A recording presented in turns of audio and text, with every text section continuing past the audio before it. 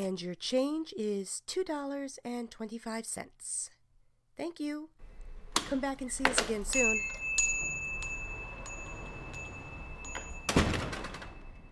Finally, the last customer. Go lock the door so nobody else comes in. I can't. I'm counting my drawer. Why do we always get stuck closing? I know the daytime shift is mostly people with kids. Yes, I know they need to go home before dark, but still, it's not all of them. Would you just go and lock the door? Okay, but if we get another customer, you'll be waiting on them, and I will be going home. Oh, so now you want to lock it. Ugh, I really hope it's not this busy tomorrow. But it probably will be. These seasonal drinks will be the death of me. In the summer, it was the Hawaiian Blast smoothie. Now that it's autumn, it's that darn apple cider mocha. What part of those three words should be in a warm drink together? And the smell. Ugh. Oh, I do remember last October. If I never hear the words pumpkin cinnamon ever again, it'll be too soon. That was way back when Joey was the manager. Oh, he was so cool. Letting us take home unsold food and, and just being an overall great guy.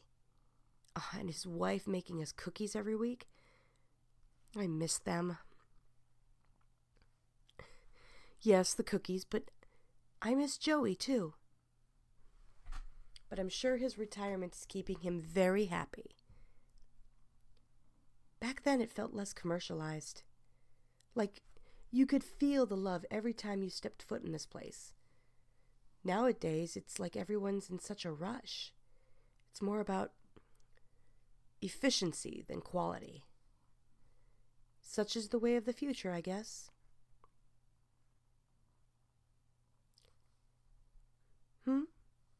Oh, I was just thinking about last year. It feels like a lifetime ago. I was so new back then. I had a good handle on things, though. What do you mean? Of course I did. Sure, my first day was a little hectic, but. What? First week? What on earth did I do in the first week? Oh. I guess that was so embarrassing I blocked it from my memory. that businessman was furious. But then, who wouldn't be if a frazzled barista spilled a frappuccino all over your tie? That was the day I threatened to quit, wasn't it? Can't believe I forgot about that. What? But why didn't I quit? you know why. Are you really going to make me say it? Okay, since you have this unbearable need to gloat all the time. I was ready to walk out that door and never look back. Then you showed up. You were just leaving after your shift and saw everything.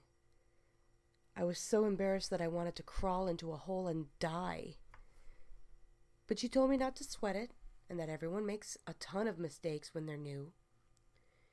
You told me that funny story about how you broke the milk steamer during your first week, and you made me feel way less scared. So I decided not to quit. I wanted to thank you for being so helpful, but I got nervous and just blurted out my favorite song. Ugh. This is why I blocked out those memories. They're too cringy. Well, you're right. The next weekend we did go to that concert and it was amazing. And then we became friends and you taught me everything I needed to know about how to be a great barista. And now I totally kick butt at it. You mean he wouldn't say that? Aw, because I'm incredibly amazing at it? Bestie, come here and hug me. Mm. I knew I made the right decision not to leave. So, Bestie, since I'm such an incredibly amazing barista and all, does that mean you'll clean out the cappuccino machine tonight? but I have faith in you. I'll even give you a pep talk if you need it. Wait, what are you doing with that whipped cream? No, no, no!